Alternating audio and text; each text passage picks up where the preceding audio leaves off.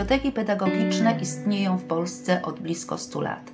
Przez ten okres zgromadziły bogate i różnorodne księgozbiory, kiedyś służące głównie pracownikom oświaty, nauczycielom i studentom, dzisiaj adresowane do szerokiego kręgu odbiorców. Chcemy przedstawić Państwu 11 publikacji, które zdaniem pracowników publicznej Biblioteki Pedagogicznej w Lesznie i jej filii są reprezentatywne dla naszych zbiorów i mamy nadzieję zachęcą do korzystania z nich. W księgozbiorach bibliotek pedagogicznych znaleźć można wiele ciekawych książek o uzależnieniach. Jedną z nich jest publikacja Roberta Modrzyńskiego Nowe uzależnienia młodego pokolenia od przyjemności do przymusu. Ta pozycja to kompendium wiedzy o zagrożeniach, z którymi zmaga się współczesna młodzież. Uzależnieniem od lekarstw, elektronicznych papierosów i narkotyków, mediów społecznościowych i smartfonów.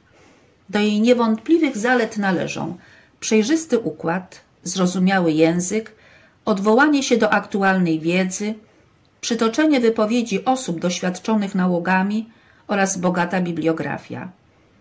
W książce rzetelnie zostały przedstawione problemy młodego pokolenia, które zainteresują nie tylko nauczycieli i pedagogów, ale również rodziców.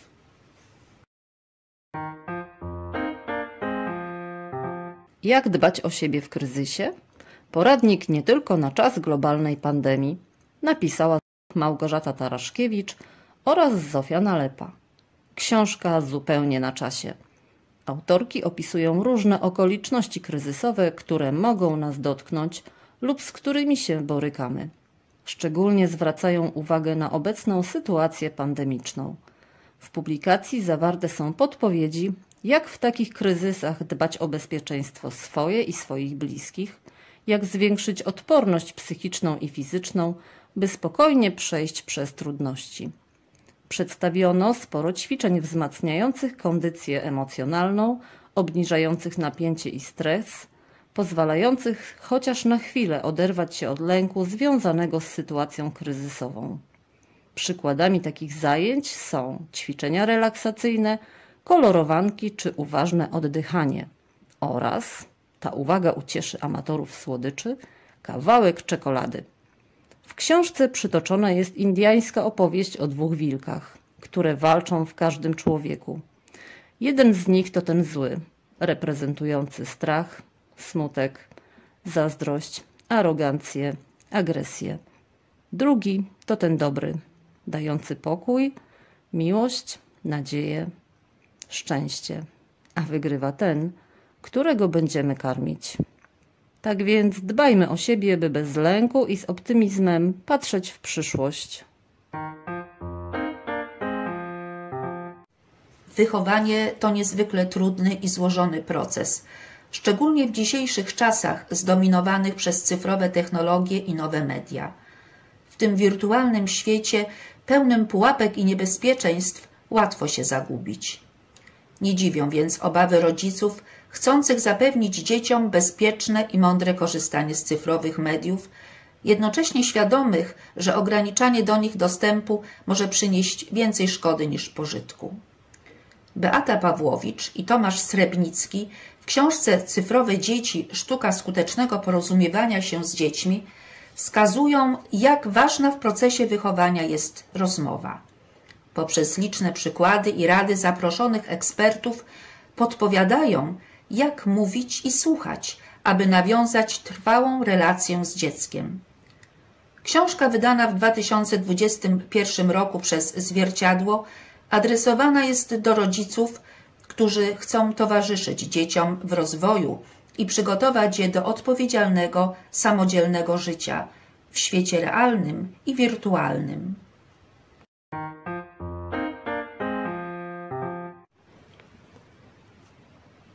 Jesteś samodzielny w wyznaczaniu własnej drogi, czy realizujesz cudzy scenariusz własnego życia? Może chcesz polepszyć bądź zmienić sytuację zawodową, zrealizować swoje ambicje, a może rozwinąć swoje kompetencje lub nauczyć się nowych umiejętności. Czy wiesz, jak uczyć się szybciej nie poddawać się po jednej porażce? Czy planowanie procesu uczenia się i wpisanie go w harmonogram dnia ma jakieś znaczenie? Czy znasz cztery etapy procesu uczenia się, które pomogą ci mierzyć Twoje postępy w nauce, ale też przewidywać, co wydarzy się dalej? Czy wiesz, że zasada Pareto, zwana 80 na 20, odnosi się też do nauki, na przykład języka obcego? Czy jest Ci potrzebny mentor? Czym jest przeplatana praktyka w procesie uczenia się? Czy wiesz, jaki wspólny mianownik mają cechy rzemieślników z XV-wiecznej Florencji oraz współcześni gracze w futsal z Brazylii? A może jednak nie wiesz, o czym tu mówię, ale chciałbyś się dowiedzieć. Jeśli chcesz poznać odpowiedzi na te pytania, koniecznie sięgnij po książkę Błyskawiczne przyswajanie umiejętności, naukowe metody zapamiętywania i doskonalenia wiedzy Petera Hollinsa. Pamiętaj, że ciekawość rodzi chęć, by się uczyć, a im jest ciężej, tym więcej się uczysz.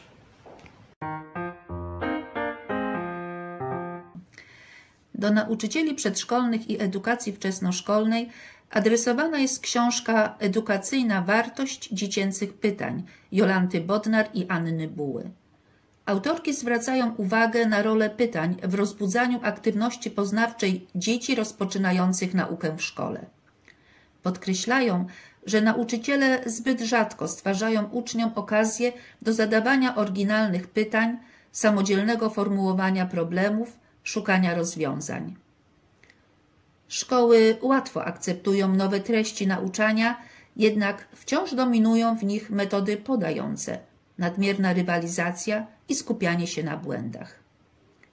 Proces rozwijania postawy twórczej i myślenia pytajnego w szkole powinien się opierać na nowych zasadach psychodydaktycznych, takich jak podmiotowe traktowanie dziecka, harmonijny wpływ na różne sfery jego osobowości, zachęcanie do działań twórczych i pobudzanie samodzielności dziecka oraz wzmacniania procesu twórczego i tolerowania błędów.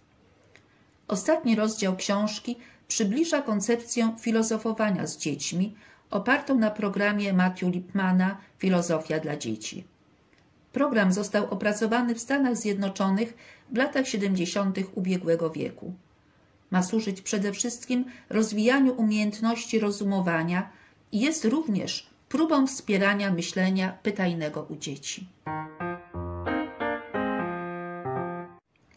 Liderzy 30 inspirujących rozmów z największymi liderami naszych czasów.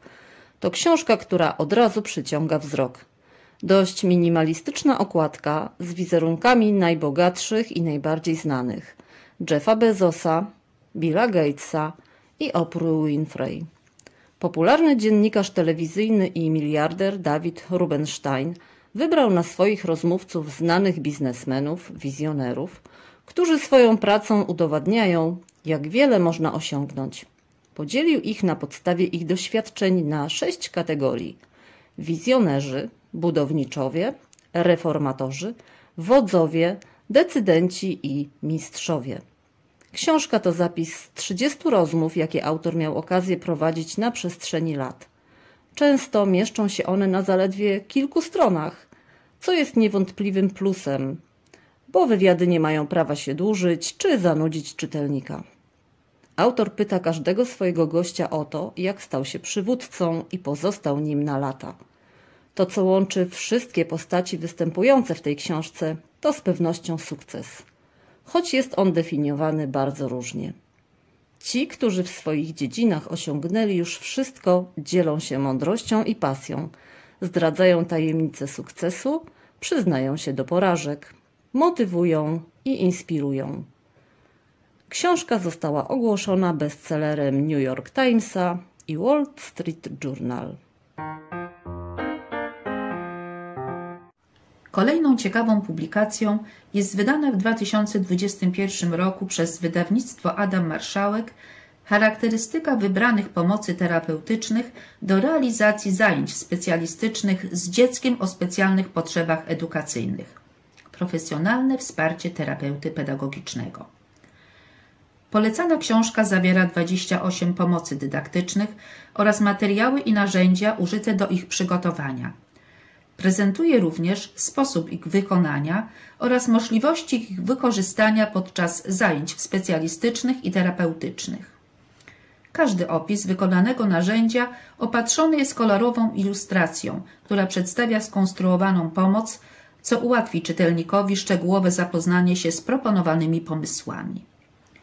To praktyczne wademekum może zainspirować nauczycieli, terapeutów, studentów, ale również rodziców do kreatywnego przygotowania nieskomplikowanych i niedrogich pomocy terapeutycznych, które mogą urozmaicić i wzbogacić zajęcia wspierające dzieci w procesie pokonywania trudności rozwojowych. Kolejną książką, którą polecamy jest Cyfrowy warsztat humanisty Anny Matysek i Jacka Tomaszczyka. Omawiana publikacja jest pomocą dla studentów i doktorantów piszących prace dyplomowe i rozprawy doktorskie. Autorzy przeprowadzają czytelnika przez poszczególne etapy procesu badawczego, począwszy od pracy koncepcyjnej, poprzez przedstawienie źródeł i metod wyszukiwania informacji, ich gromadzenia i fazę końcową, czyli pisanie pracy. Prezentują tu między innymi programy wspomagające pracę koncepcyjną, programy do zarządzania bibliografią, elektroniczne notatniki, które umożliwiają gromadzenie tekstu, grafiki, dźwięku, animacji czy stron internetowych, niespotykane w świecie analogowym. Metody wyszukiwania w uniwersalnych i specjalistycznych źródłach, metodę pracy z edytorem tekstu. Większość przedstawionych w książce aplikacji jest darmowa. Publikacja jest napisana prostym, zrozumiałym językiem. Zawiera praktyczne, przydatne informacje. Uczy, jak poszukiwać cyfrowych źródeł informacji, gromadzić je, opracowywać i przetwarzać do własnych publikacji.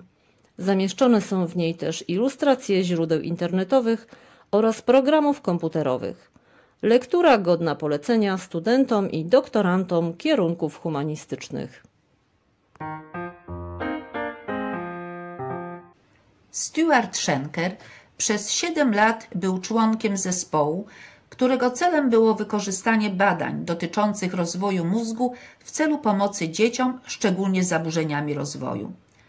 Wiedzę, jaką zdobył w trakcie tej pracy, przekazuje w książce Samoregulacja w szkole, spokój, koncentracja i nauka, wydanej w 2019 roku, w której przedstawia własną metodę samoregulacji składającą się z pięciu kroków. Krok pierwszy to rozpoznanie sygnałów stresu płynących z naszego organizmu. Kolejny to szukanie stresorów, czyli szukanie takich sytuacji, takich rzeczy, które nas stresują i robimy to w pięciu obszarach: biologicznym, emocjonalnym, poznawczym, społecznym i wprospołecznym. Krok trzeci to szukanie takiej strategii, która pomoże nam zredukować stres. Krok kolejny to uświadomienie sobie tego, co odkryliśmy w trzech poprzednich krokach. I wreszcie krok piąty, który służy regeneracji, czyli naładowaniu na nowo naszych akumulatorów. Metoda ta dedykowana jest głównie dzieciom i młodzieży, ale także rodzicom, nauczycielom, psychologom pracującym z dziećmi. Dzięki zdobytej wiedzy o samoregulacji dorośli mogą pomóc dzieciom w zrozumieniu i zmianie ich zachowania. Depresja, stres, kryzys emocjonalny, lęk i niepokój czy wypalenie to nieodłączni towarzysze naszego codziennego życia. Jak sobie z nimi poradzić, zachęca nas certyfikowany coach motywacyjny, trener technik mentalnych Andrzej Bubrowiecki w swojej książce Jak wyjść z dołka emocjonalnego. Publikacja jest poradnikiem skierowanym do osób, które mają za sobą trudne doświadczenia życiowe, są w trakcie kryzysu emocjonalnego lub chcą pomóc swoim bliskim borykającym się z problemami. Na kartach poradnika dowiemy się między innymi, jak można wspomagać obszary mózgu odpowiedzialne za uczucia, jak zmniejszyć swoją podatność na stany lękowe, jak radzić sobie z kryzysem i depresją oraz jak umiejętnie wspierać innych w ich problemach. Andrzej Bubrowiecki wykorzystuje w tym celu wiedzę naukową z zakresu psychologii stresu, psychoterapii i neurobiologii. Pokazuje, iż w obliczu trudności i bezsilności można sobie poradzić z natłokiem myśli, a problemy mogą niejako wzbogacić nasze życie pod warunkiem, iż jesteśmy świadomi swoich uczuć. Część teoretyczna wzbogacona jest prostymi ćwiczeniami pomagającymi zrozumieć własne stany.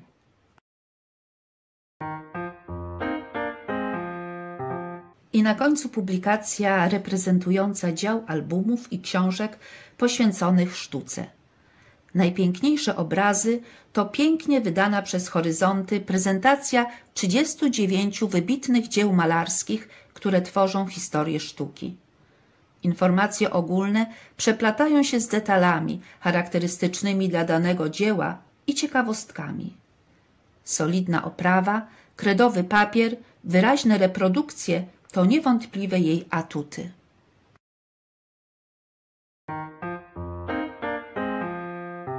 Przedstawione książki to tylko skromna reprezentacja naszych bogatych zbiorów. Zapraszamy do publicznej biblioteki pedagogicznej w Lesznie i jej filii Gostyniu, Kościanie i Rawiczu z przekonaniem, że każdy znajdzie dla siebie coś ciekawego.